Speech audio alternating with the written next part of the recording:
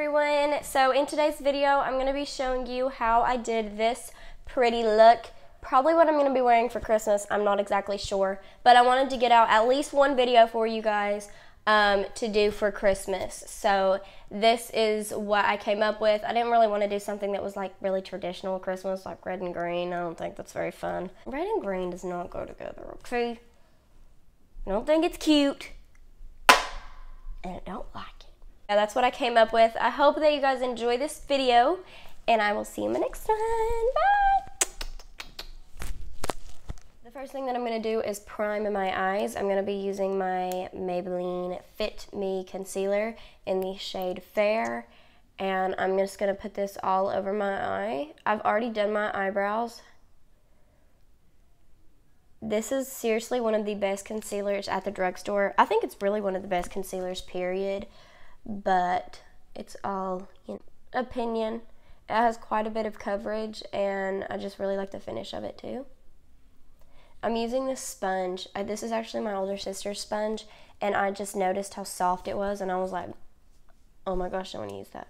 Now I'm going to go into my Janky palette, and I'm going to be mixing um, I believe, let me look for you guys.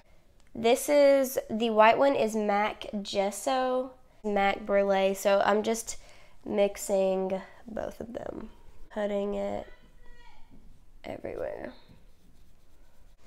I'm to grab this Sonia Kashuk brush that's just kind of like a big fluffy brush.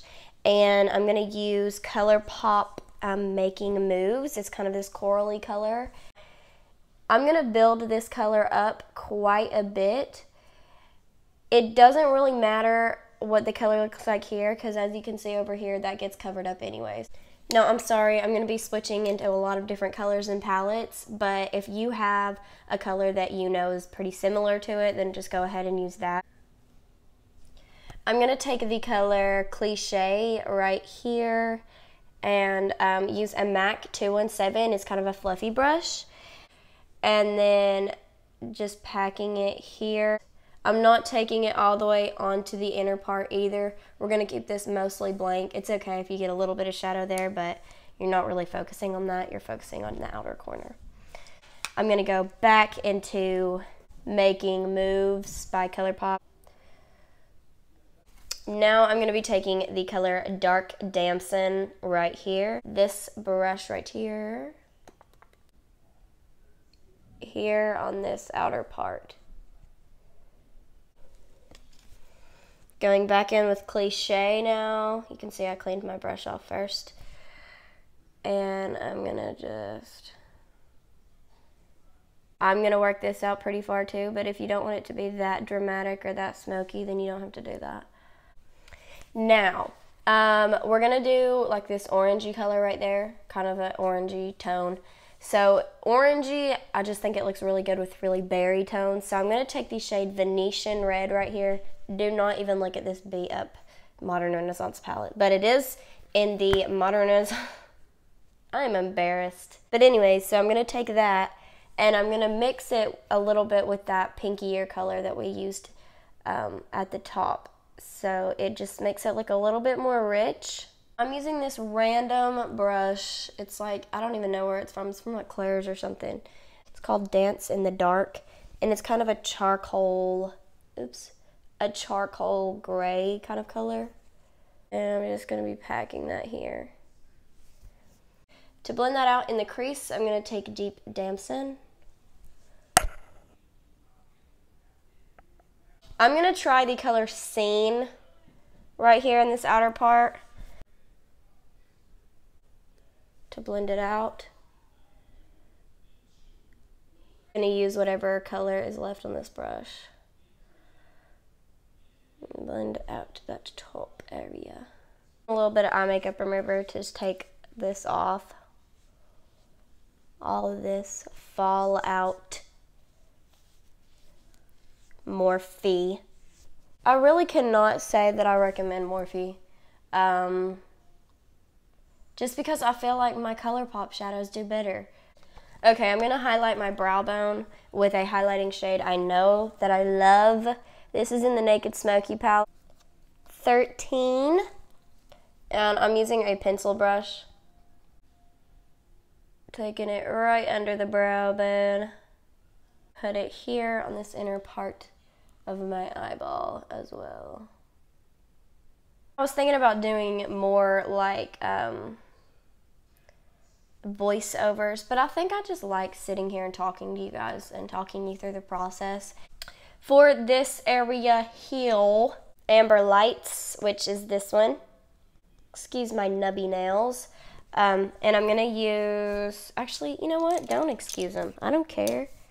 I don't care. Um, so I'm going to take that on this brush and pack it on this inner part. I'm going to grab a clear lash glue. This is like a little bait. ooh. This is a little baby lash glue. I got it in some like cheap eyelash set, I think. I'm using this Jesse's Girl Eye Dust.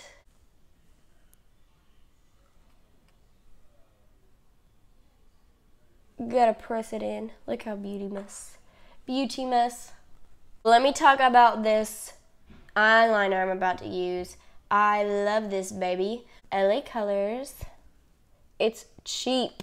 It's cheap, cheap, cheap, cheap, cheap. LA Colors Graphix Eyeliner in the shade Black. It's so cheap and it's so good. Now there are a few cons to it as well and if you are not the best with working with eyeliner then you might not like it. But the longevity of it is awesome and it's super black. Um, it is just slightly difficult to work with because it's very liquidy. I'm going to use my L'Oreal Telescopic Mascara and just apply a little bit of it. These are the lashes that I'm going to use. They look really janky. You can see the lash. Oh, is it showing you guys good detail? It is. Oh my god, I did not realize the camera quality was this good. And apply. You'll be able to put a lash on that easily one day. Little highlight on the inner part. I haven't done that to this one yet.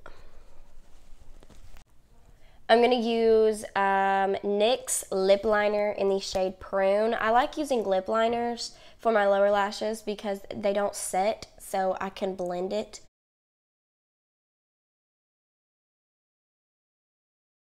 This is the perfect brush for your lower lashes. Let me show it to you guys. It is like a blending brush, but it's also kind of pointed, so it is just very ideal for your lower lashes. Cliche, cliche, cliche, cliche. Like scene now. Put on that lower part there. It's good to put that powder there too because if you have fallout like that, you can just brush it away. Put that there. The hair. Ugh. Okay. Way now I'm gonna use this huge brush and just as soon as I start to film a video, it's like chaos. I don't I don't understand. Um, so I'm gonna use this Healthy Skin Custom Glow blush and bronzer. It, I just think it looks good with this look. You see the warmth? It looks good with it. And oh my gosh, this bronzer is just so pretty. For contour, I'm gonna be using the Bahama Mama bronzer or use that. I used um, my Tarte one that I always use, but it's in a drawer that I can't really get to right now. So I like this one anyways. It's makes it slightly more dramatic. And I am still not finished with the face and bronzing. Look at this butte. This is MAC Gold Deposit. It is disgusting on the bottom. I'm sorry, guys. use this big stippling brush and just, just put it a little here. Can you guys see that? How pretty it is? It just adds a little bit of color. That is not different at all. Everyone uses Becca Opal, but I'm sorry. Okay, so I've got this little baby one, and it's just awesome. So I'm gonna get a lot. Makeup Mist and Set.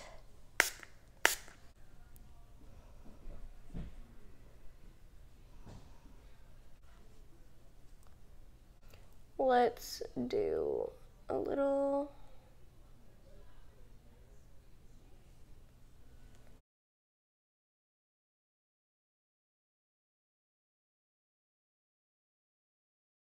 using this pigment called Excite teardrop, but pencil brush. And you can use water, honestly.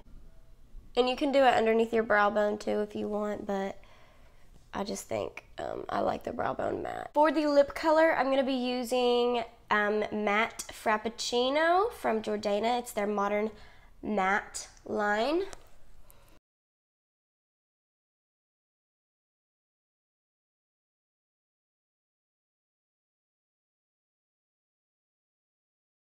And just to kind of highlight the center a little bit, you guys know I love doing that.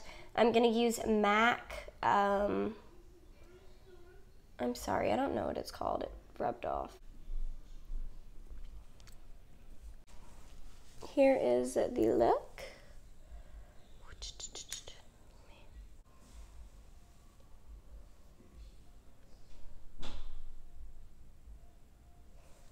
And it makes your eyes look really blue.